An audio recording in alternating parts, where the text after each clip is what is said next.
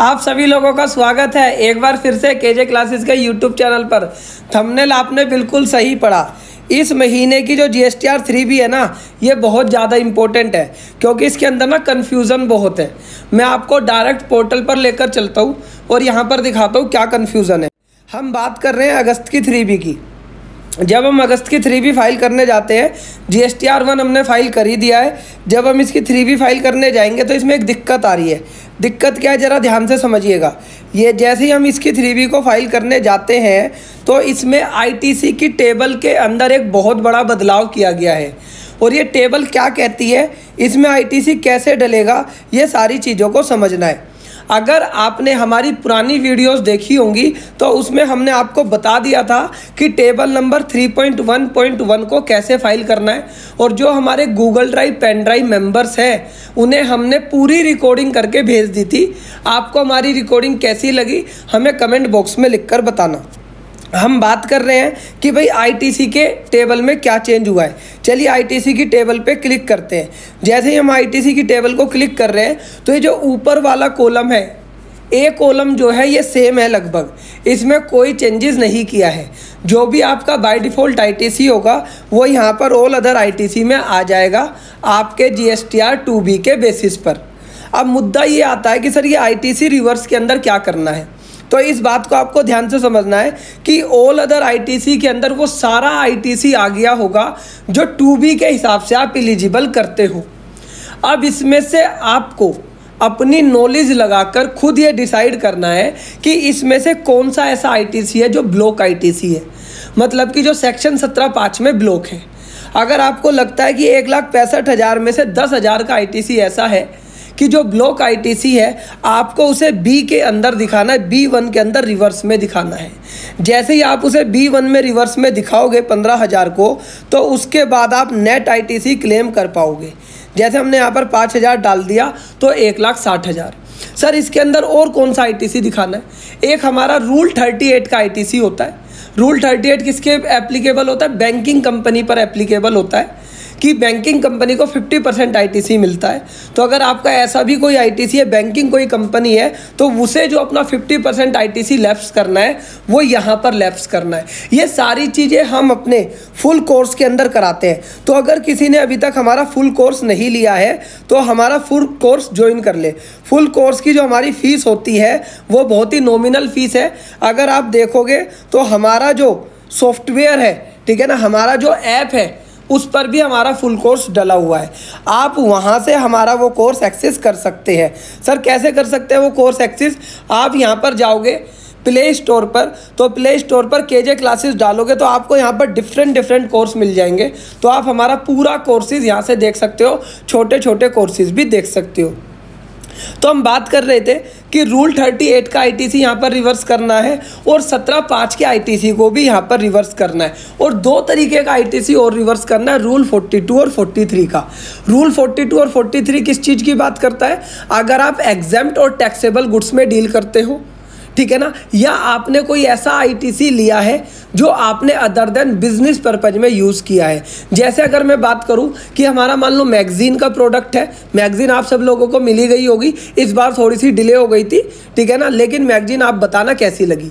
तो जैसे हमारा मैगजीन का प्रोडक्ट है, वो एग्जाम्ट है, और हमारा जो गूगल ड्राइव पेन ड्राइव वो टैक्सेबल है। तो अगर हम कोई भी इनपुट सर्विस लेते हैं, जो हम एग्जाम्ट और टैक्सेबल दोनों में यूज़ कर रहे हैं तो हमारे को रूल फोर्टी टू के हिसाब से रूल 42 किसके लिए? इनपुट और इनपुट सर्विस के लिए और रूल 43 किसके लिए? कैपिटल गुड्स के लिए। तो हमारे को यहाँ पर आईटीसी रिवर्स करना होता है।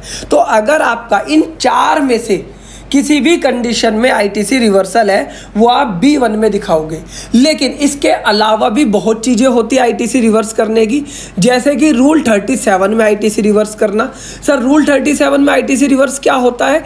रूल थर्टी सेवन में आईटीसी रिवर्स ये होता है कि अगर आपने अपने क्रेडिटर्स को 180 दिन के अंदर पेमेंट नहीं करा तो आपको वो आईटीसी रिवर्स करना होता है विद इंटरेस्ट तो अगर आपका रूल थर्टी सेवन का आईटीसी रिवर्सल है तो आप उसे बी टू में दिखाओगे, ना कि बी वन में. तो यहाँ पर अदर्स के अंदर वो आईटीसी आता है जो ऊपर वाले में नहीं आया.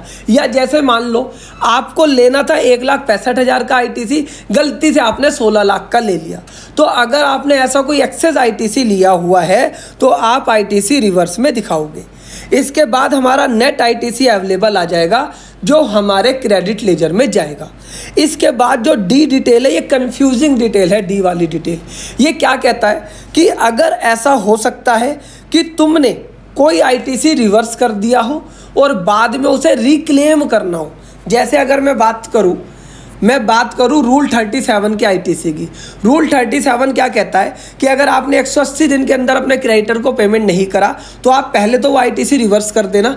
जब आप उसे पेमेंट कर दोगे, तब आप उसे रिक्लेम कर लेना।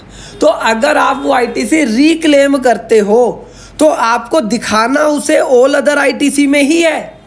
लेकिन ये जो डी पार्ट है, ये कैलकुलेशन पार्ट नहीं है। D part is only information part तो डी पार्ट के अंदर भी आपको एक बार दिखाना है। तो यहाँ पर क्या लिखा हुआ है? डी वन में ITC reclaim which was reverse under table four B two in earlier tax period यहाँ पर दिखाने मात्र से वो रिक्लेम नहीं हो जाएगा। रिक्लेम करने के लिए तो आपको ऑल अदर आईटीसी में डालना ही पड़ेगा। लेकिन अगर आप कोई ऐसा आईटीसी क्लेम करते हो रिक्लेम करते हो, जो आपने पहले रिवर्स कर दिया था तो आपको यहाँ पर इंफॉर्मेशन पार्ट में डालना पड़ेगा। मैं इसे इंफॉर्मेशन पार्ट क्यों कह रहा हूँ कि जैसे ही आप यहाँ पर कोई भी फिगर डालते हो तो वो सिर्फ़ इंफॉर्मेशन के लिए होती है, वो कभी भी कैलकुलेशन पार्ट नहीं बनती। इस चीज़ को आपको समझना है। तो ये वाला जो पार्ट है, ये हमारा इंफॉर्मेशन पार्ट है। ये आपको क्लियर हो गया होगा। इसके बाद, ये जो डी टू है, ये इससे भी ज़्यादा कन्फ्यूजिंग है। सर, इसमें क्या कन्फ्यूजिंग है? इसमें ये समझना, इसमें कन्फ्यूज़न इस बात का है कि भाई, यहाँ पर देखो, जैसे ही मैंने डी के अंदर कोई फिगर डाली, मेरे आईटीसी पर कोई इम्पैक्ट नहीं आया। मेरे क्रेडिट लेजर में वही आईटीसी जाएगा जो यहाँ पर सी में आ रहा है। लेकिन डी पार्ट क्या है? सिर्फ़ इन्फॉर्मेशन पार्ट है। और ये डी टू इससे भी ज़्यादा कन्फ्यूजिंग पार्ट है। ये कहता है कि जैसे ही आप अपना टू बी देखोगे तो उसमें दो टेबल आती है। एक आईटीसी एलिजिबल आता है और एक आईटीसी इनएलिजिबल तो अगर आपका कोई आईटीसी इनएलिजिबल है, वो दो कारणों से इनएलिजिबल हो सकता है। पहला कारण तो क्या है कि आप, मैं दिल्ली में हूँ और मैंने महाराष्ट्र से कोई सामान खरीदा। मैं दिल्ली में हूँ, महाराष्ट्र से कोई सामान खरीदा तो महाराष्ट्र वाले को प्लेस ऑफ़ सप्लाई दिल्ली डालना था। लेकिन गलती से उसने यूपी डाल दिया। मतलब कि जिस स्टेट में मैं हूँ, वो स्टेट का प्लेस ऑफ़ सप्लाई नहीं डाला तो यहाँ पर हम उसे बोल देते हैं ITC restricted due to POS rule मतलब प्लेस ऑफ़ सप्लाई रूल्स कि अगर जो व्यक्ति आईटीसी क्लेम कर रहा है, अगर पीओएस में उसकी स्टेट का नहीं डलेगा तो वो आईटीसी रेस्ट्रिक्टेड हो जाएगा। तो आपको ऐसा आईटीसी टू बी में देखना है और यहाँ पर सिर्फ़ दिखाना है, ये कोई कैलकुलेशन का पार्ट नहीं होगा। उस आईटीसी को ना ही ऊपर क्लेम करना है, क्योंकि वो इलिजिबल आईटीसी तो है ही नहीं, जो उसे आप ऊपर क्लेम करोगे तो उसे सिर्फ़ और सिर्फ़ इंफॉर्मेशन पार्ट में दिखाना है। इसके अलावा लिखता है ineligible ITC under section सोलह चार। आप कमेंट बॉक्स में लिखकर बताना, ये गलत लिखा है या सही? मेरे हिसाब से यहाँ पर ये गलत लिखा है। क्यों गलत लिखा है? कि भाई ये सेक्शन सोलह चार मुझे रिसिपियंट के एंगल से पढ़ना है या सप्लायर के एंगल से पढ़ना है। सोलह चार क्या कहता है? सोलह चार कहता है कि आप कोई भी आईटीसी सितंबर की ड्यू डेट तक ले सकते हो। अभी नवंबर मत मानकर चलना, तीस नवंबर। क्योंकि तीस नवंबर के लिए इन्होंने अभी नोटिफिकेशन नहीं निकाली है। तो अभी सितंबर का ही आईटीसी मानेंगे तो आपको सितंबर की थ्री में सारा आईटीसी ले लेना है। लेकिन अगर आप सितंबर के बाद कोई आईटीसी लेते हो तो हम उसे बोलते हैं कि सोलह चार की वजह से वो आईटीसी इनएलिजिबल हो गया। लेकिन यहाँ पर कैसे दिखाएँगे वो आईटीसी तो इस बात को जरा समझना। यहाँ पर ये जो सोलह चार है, ये रिसिपेंट पर नहीं लगा रहे हैं। ये लगा रहे हैं सप्लायर पर। मैं आपको एक एग्ज़ाम्पल से समझाता हूँ। लेट सपोज़ करो, मैंने मार्च के अंदर, मैंने मार्च के अंदर रामलाल से एक लाख रुपए के गुड्स खरीदे। लेकिन मार्च के अंदर रामलाल ने अपनी जी एस वन नहीं फ़ाइल करी। ना ही वो मेरे टू ए के अंदर आया। ना ही वो मेरे टू बी के अंदर आया तो मैं उस आईटीसी को नहीं ले रहा। अब हुआ क्या? रामलाल ने अपनी जी एस आर वन दिसंबर में फ़ाइल कर दी। कब फ़ाइल कर दी? दिसंबर में फ़ाइल करी 2022 में। पहली बात तो रामलाल को फ़ाइल ही नहीं कर देना चाहिए था वो इनवॉइस लेकिन अगर रामलाल दिसंबर में वो फ़ाइल करता है तो वो आईटीसी जो है मेरे टू बी में दिखाई देगा दिसंबर में और किसके अंदर? इन इनएलिजिबल आईटीसी के अंदर।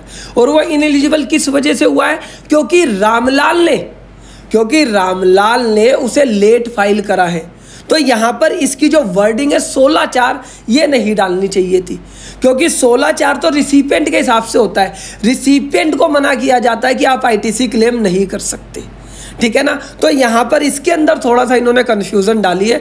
इसके अंदर यहाँ पर थोड़ी सी क्लियरिटी आनी थी। बाकी आप मुझे कमेंट बॉक्स में लिखकर बताना, क्या आपको ये आईटीसी का पार्ट क्लियर हुआ या नहीं हुआ? इसके अलावा 3.1.1 टेबल आपको टच नहीं करनी है। आपको टच तभी करनी है जब आप ई कॉमर्स ऑपरेटर के थ्रू माल बेचते हो। कौन से ई कॉमर्स ऑपरेटर सारे ई कॉमर्स ऑपरेटर नहीं, जो सेक्शन नाइन फाइव के अंदर आते हैं। नाइन फाइव के अंदर सर्विस वाले आते हैं। फ्लिपकार्ट अमेजन नहीं आता। ठीक है? नाइन फाइव के अंदर कौन सा आता है? जोमेटो वगैरह वाले आते हैं। मेक माई ट्रिप आते हैं। तो फ्लिपकार्ट अमेजन वाले इसे फ़ाइल ना करें। ये सिर्फ़ उनके लिए जो नाइन फाइव में रजिस्टर्ड है। हम अपनी फुल पेन ड्राइव क्लासेज में ये बताते हैं कि क्या होता है नाइन फाइव क्या सारी चीज़ें होती हैं। ये हम अपनी मैगज़ीन के थ्रू भी आप लोगों को समय समय पे बताते रहते हैं। और जो हमारा फुल पेन ड्राइव कोर्स है, हम उसमें भी ये सारी चीज़ें आपको बताते रहते हैं। तो आशा करता हूँ ये वीडियो आपको अच्छी लगी होगी। अगर वीडियो अच्छी लगी है तो ज़्यादा से ज़्यादा लोगों तक शेयर कर दीजिए। और अगर आपने अभी तक हमारे ऐप पर विज़िट नहीं किया है, एक बार ऐप पर विज़िट करें, हमारी वेबसाइट पर विज़िट करें और इन कोर्सेज़ को जल्दी से जल्दी लेकर अपनी नॉलेज को बढ़ा लें। इस वीडियो को देखने के लिए आपका दिल से धन्यवाद करता हूँ। कई बार समय नहीं मिल पाता, इसलिए वीडियो कम बन पाती है, लेकिन ऐसा मत समझिए कि मैं आपको भूल गया। थोड़ा सा किसी कामों में बिज़ी रहता हूँ, जैसे ही फ्री होऊँगा, आपको नॉलेज देता रहूँगा। Thank you ji.